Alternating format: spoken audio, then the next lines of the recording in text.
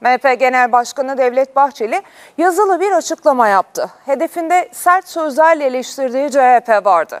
Bu hafta içinde her ikisinin de kutlaması yapılan Malazgirt Zaferi ile Büyük Taarruz'un ana muhalefet tarafından birbirine rakip gösterilmeye çalışıldığını savundu.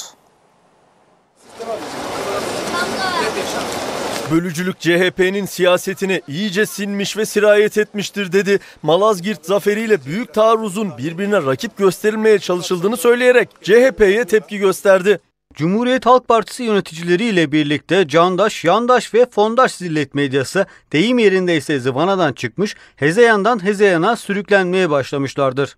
Tarihimizi karıştırmak ve yaşanmış hadiseleri saptırmak ancak ve ancak güncellenmiş Bizans senaryosu Türk ve İslam düşmanlarının alçak kurgusu olarak adlandırılacaktır. Demlenen CHP'nin siyasi pozu ve pozisyonu yüksek düzeyli tehdittir.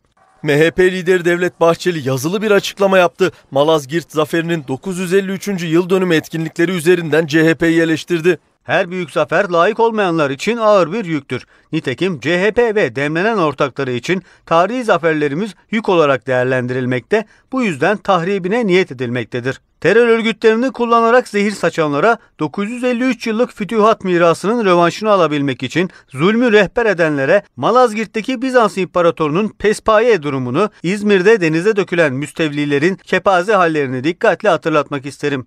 Türk milleti bu oyuna gelmeyecektir vurgusu yaptı. Hacı Bektaşi Veli'yi anma törenlerindeki görüntüleri hatırlatarak sürdürdü tepkisini.